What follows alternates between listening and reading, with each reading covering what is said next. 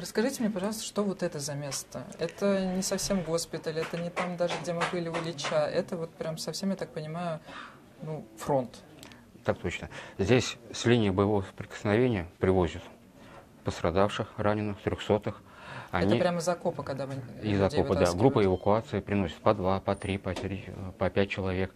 Вот. И тут осуществляется первичный именно врачебный осмотр. На, по гражданской специальности я врач-травматолог ортопед, то есть как бы это моя вотчина.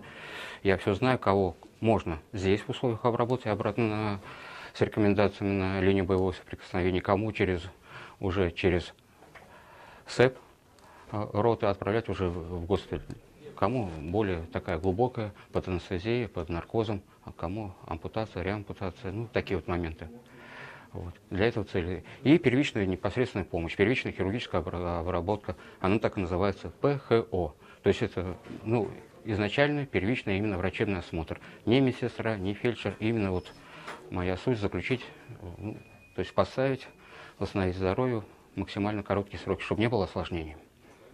Это то есть после того, как боец либо сам себе помощь окажет, либо ему, сослуживцы, Сослуживцы, да, так точно, помощь. да. То есть они все равно какую-то помощь элементарно себе оказывают, но более квалифицированную, кому-то шинирование, кому-то именно носилочное, вообще переворачиваться нельзя. Вот, у кого кровотечение, вот такие моменты. А вот вы говорили, вы врачом были на гражданке. Вы как давно на службе? Э, мобилизация была в середине октября, три месяца слаживания, и потом я уже ну, этой территории. И как ощущение с гражданской профессией? Ну, в такую по... же профессию, но не гражданскую. Ну, по службе я до этого работал в ОМОНе. Угу. Вот, то есть Кавказ как бы вот эти, ну, не в таком количестве, конечно. Вот это немножко шокирует. А так, в принципе, ну, то же самое.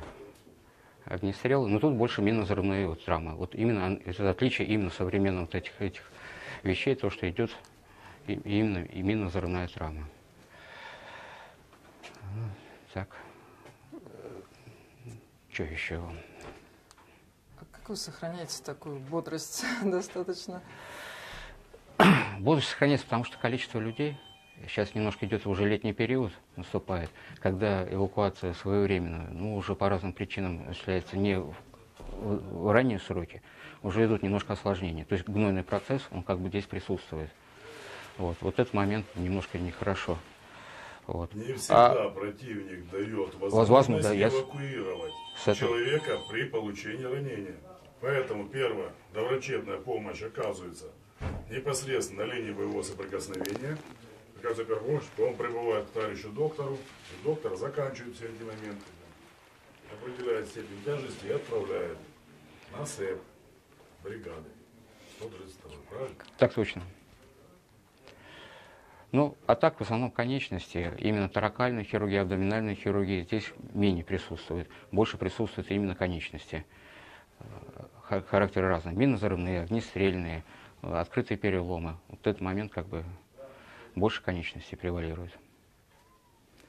Э, по лекарствам мы, опять же, исходим из того, когда срок обезболивающий, чтобы профилактика травматического шока была, антибиотики вводятся – вот, первоначальный, и когда нужен, не нужен, это жгут кровоостанавливающий, потому что многие моменты сразу ранения, сразу жгут накладывают, иногда он немножко вредит для сохранения конечности, вот эти моменты.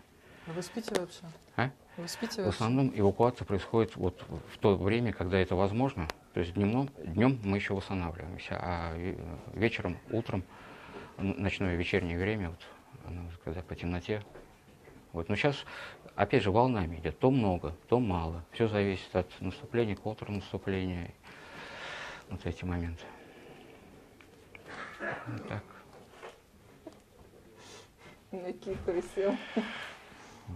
А на гражданке так, я там протезы менял. То есть мне больше, я больше вот, мне в операционной, э, вот, но, по крайней мере, их успокаиваешь пострадавших. Они сразу видят, что уже как бы руки работают, как надо делать, как не надо делать, что им нужно делать. А иногда они немножко пасуют, потому что психологически любая полученная травма, они немножко... А я так, опять же, многие моменты нагноения, они э, и опарыши здесь бывают. Это же хорошо, с одной стороны, потому что они только гнилостную ткань едят, кушают потребляют. Вот. Для раны это очень даже хорошо. А у них, наоборот, страх. фобия появляется, что там появляются вот личинки. А по факту это хорошо. Вы нормально вот, да, ко всему этому относитесь? Ну, это моя работа. Они же на гражданке, они с этажей падают и под поезда попадают. Как Но бы... это надо родиться вот с, с таким вот мировоззрением? Нет, просто время и все. Ну, к этому можно привыкнуть, ко всем ну, не все. разорванным конечностям, крови, мясу? Я думаю, что кому-то дано, кому-то не дано. Но это не то, что я там как бы очки набираю, я наоборот, это просто нужно делать. Кто-то должен это делать, и все. О жене рассказываете? О настоящей обстановке? Не, не, не. А что говорите, что у меня все хорошо? Ну да, время идет, сутки прошли, уже хорошо. Как бы такой. Опять же, переключаешься на детей, на животных, на аквариум банально, на сад. То есть такими бытовыми контрнаступлением занимаешься, именно бытовым. А где и вы все. успеваете этим заниматься-то? А? Где вы успеваете этим заниматься-то? Когда смс раз в неделю, ну, типа такого. Когда связь, тут связи практически нету. Вот очень плохо с этим. Ну и она же, меня же провожала в командировке на Северный Кавказ, в Ингушетии был. И четыре раза по полгода. То есть ее сроки вообще как бы не пугают. Ну, как бы, ну, привычно, адаптированная. Так а как сохранять военную она же, семейную мед, жизнь? Она медсестра же, опять а, же. Ну, то есть вы друг друга понимаете. Да, то есть она же работает в приемном покое, она все вот это, все, что прилетает, приезжает со скорой помощи, меня по телефону вызывают, и я спускаюсь, кого операционную, кого. Но вот в том плане здесь что труднее, что здесь анестезиолога нету. То есть некоторые вещи именно для... Ну, то есть каждый должен заниматься своим делом. Здесь мне приходится как бы все.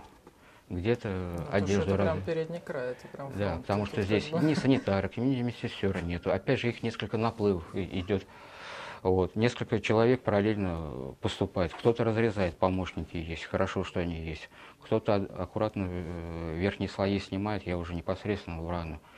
Стерильные перчатки в достатке, в рану прям пальцем залазишь, что из глубину, все это поверхности, знаешь. То есть это в условиях. Опять же, идет фильтрация. Кто под местной анестезией, кто только под наркозом, все это можно делать. Медицина, это все понятно. Вы мне скажите, как, сколько вы с женой лет вместе? Мне 50 с лишним. Э, с женой вы сколько в браке? Извините, 7, ребенку 11, 18 лет. Ну а как вот люди вот таких профессий, которые не бывают дома, которые бывают в командировках? Вообще ну, знаете, я или на работе, или здесь, ну, ну просто уже... Поэтому она и жена. Потому что она, мы друг друга понимаем, поэтому... А так, со стороны был бы она, была бы она учителем, не медиком, может быть, брак бы и, и не был бы. А так все понимает и разводит руками. Что. А мне кого тогда мужья искать? Из своей сферы, я как бы, я так считаю. Ну, потому что мы э, вот с работы приходим, не, редко смены когда совпадают. Обычно с ребенком она, то я, то я, то она. Э, редко что мы совпадаем. Но опять же, больные, больные, опять же, коллег немножко муссируем, начальство, как обычно. Вот, вот эти моменты. Ничего.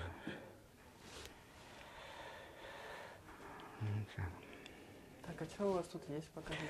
Ну, первично, вот, если честно, вот здесь вот все, здесь ну, это... Это все не надо сейчас трогать, да? Да, здесь все... бетадин, хлоргексидин, перекись непосредственно.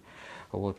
Перекись уходит литражами, э, перевязочный материал километрами уходит, бинты, но самое главное, это вот хорошая обработка первичная, потому что пока мы здесь не сделаем правильно и грамотно, зависит от того, насколько у них будет или не будет дальнейших осложнений. Уже не от полученной травмы, а от того, что вовремя оказана помощь.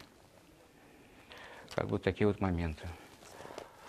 Вот. Единственный момент, что всегда нужны вспомогательные люди, это вот в плане носилок. Вот и дороги в плане вот мобилизации именно при передвижении, при логистике вот этой. Вы прям совсем в своей профессии. Вот вы вообще даже в сторону не отходите от темы. Медицина, медицина, медицина. Ну, ну потому что там на три с половиной ставки работаю. Я э, двое с лишним суток работаю. То в одном городе, то в другом. У нас спутники города есть. Я с Оренбургской области. Вот. Людей не хватает у нас везде. Там, там, там. И немножко специфика везде разная. Где-то свое приносишь туда, чужое забираешь к себе, приносишь. Вот так. Ну а так, конечно, там и протезированием занимаемся, и аппараты внешней фиксации, аппараты Лизарова, это немножечко уже отстающие, это немножко уже другие сегменты. Вот. То есть, ну, работаем, куда деваться? Профессия есть профессия. А так, когда приходил, из того, что было, предложили, я заканчивал в 98 году, хотел быть урологом, сказали, урологов слишком много вас, травматологов не хватает. Ну, травматолог, травматолог, так и... Вы не жалеете да. о своей профессии? Нет, наоборот. Конкретика, больной, сегмент, конечность, рука, нога. Я гуляет, здоровается. По улице идешь в родном городе, они даже это здороваются. А кто здоровается? Так вот. А вы когда-то этому человеку жизнь спасли. И вылечили его. Ну, как бы там у нас э, э, щепетильно мы относимся, потому что гражданское получение травмы или военное получение травмы немножко э, большая разница. Бывает, что и с ушибами еще не упал, уже очередь занимают, чтобы попасть на прием. А бывает, что с переломами дома сидят. И такие люди. То есть тут и психологам приходится быть, чтобы немножко с одним такая тактика, с другим такая тактика. Вот. Ну, хорошо. Но мне самое главное, вот если честно, мне все устраивает в том плане, что есть именно антисептики, септики, антибиотики есть. Вот. Вот. Шовный материал. Вот. И немножко вот, э, когда инструментария, антисептики, ну я не могу здесь, потому что нет ни сухого шкафа, ни автоклава, это все уже на цепи. Были вы там, не были, я как бы там это все. Здесь вот именно идет маршрутизация, идет кого в наших силах осилить, кого уже мы не сможем. Именно не потому, что мы не сможем, а потому что условия то мы только навредить мы можем, да. А вот чтобы не навредить, первичную помощь, именно врачебную, как правильно. Вот. Хорошо, спасибо большое. Вам спасибо.